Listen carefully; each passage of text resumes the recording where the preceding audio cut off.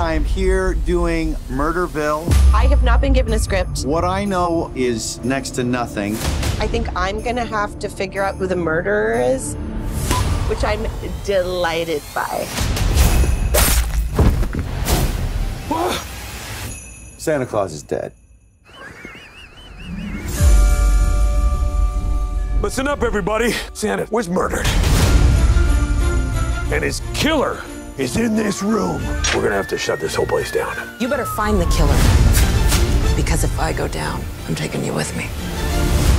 I can't imagine I could go further down than I already am.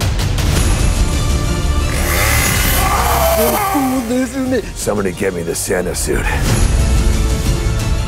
You don't want to get the robot mad. He fucking punch you. Let me tell you something. You ever experience a Bulgarian bathroom? Orphans, what are they doing here? We're gonna catch this killer and save Christmas, am I right? I knew you three couldn't handle this alone.